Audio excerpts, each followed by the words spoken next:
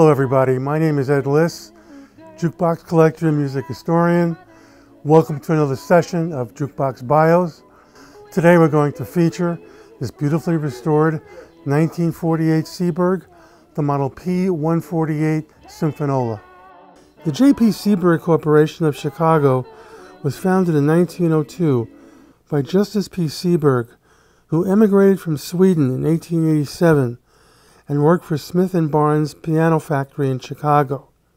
Seeburg started his own business in 1902, producing coin-operated mechanical pianos, and in 1928 began manufacturing jukeboxes using superb craftsmanship and engineering.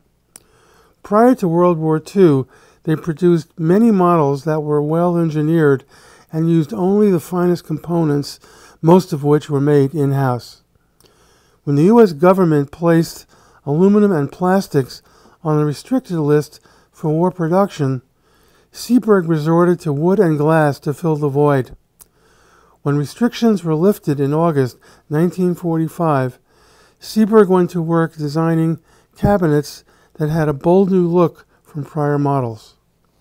The 1948 Seeburg Symphonola or trash can as it affectionately is called by collectors due to its barrel shape and side light pilaster arms, used a 20 selector 78 RPM mechanism matched to a 25 watt amplifier connected to a Jensen 15 inch dynamic range speaker. The selections were made by title strip bars that, when depressed, enabled the system to select records. The P148 used a Smythe mechanism. The P148 was the first all aluminum cabinet in the industry and used a sophisticated piezoelectric design that enabled blonde swirls to be adorned as part of the cabinet, making it unique from prior wood cabinet models. The P148 cost $800. Adding a stepper for remote wall boxes increased the cost to about $1,000. This machine was restored in 1981 by Randall Cross of South Carolina, where it spent all of its service life. The top dome slowly rotates and changes colors, while the bottom of the grill houses a rotating color wheel that projects colors onto the grill cloth, which is covered in glitter. When lit in a darkened room, the jukebox looks downright sinister with its massive side pilasters and overall profile. The fidelity of the P148 is outstanding, with smooth, rich bass response. The huge Jensen speaker is matched to auxiliary speakers called teardrops, whose shape resembled a pear-shaped speaker which were staggered on the walls of a location to expand the overall sound in the room. Teardrop speakers were both 18 inch and 15 inch and were used with a stepper that enabled wall boxes to be scattered in a room for patron selections at booths located away from the main jukebox cabinet. The P148 Symphonola is a highly collectible model that has a unique shape and profile that is tuned precisely to the late 1940s.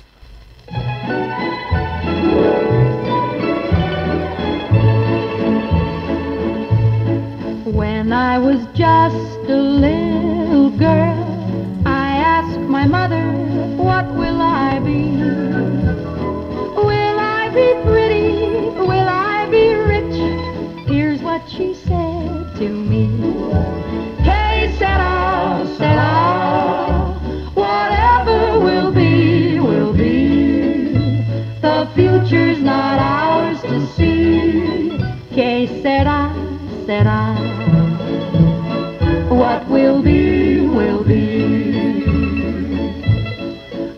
I grew up and fell in love, I asked my sweetheart what lies ahead.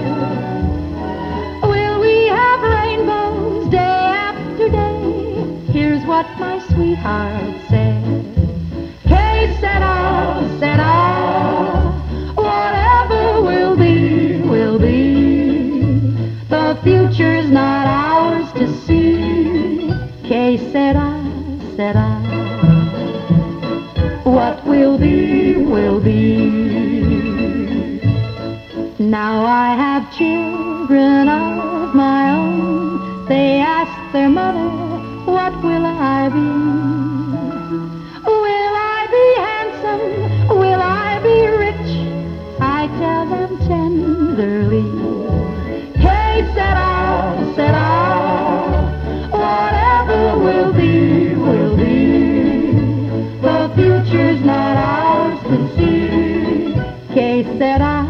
sera.